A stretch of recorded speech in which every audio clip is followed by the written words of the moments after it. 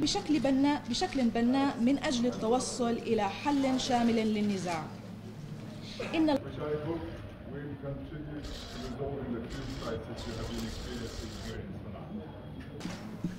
And while we see that the truce is broadly holding, we need to be mindful of the challenges too.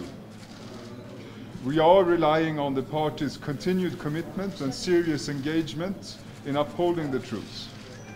Dialogue in good faith with each other is key, and the parties need to make use of the United Nations facilitated mechanisms we provided to support them in that regard.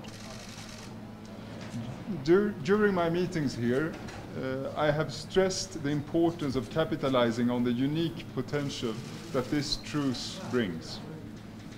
The truce offers some immediate humanitarian relief and a break from violence. Let us be clear. This truce is first and foremost for the Yemeni people. It, is, it also provides an opening for creating a conducive environment for a political process to end the conflict, as well as for more durable measures to improve the humanitarian and economic situation and ending the violence.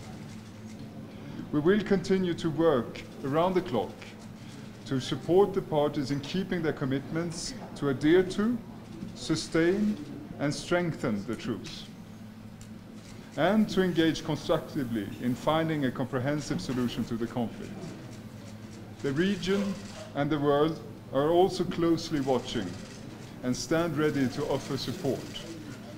This is an opportunity to end the conflict and reach a just peace that meets the legitimate aspirations of the Yemeni people. We have a collective responsibility to rise to the occasion. Thank you very much, and I will hand over to my translator for uh, a readout of this statement in Arabic.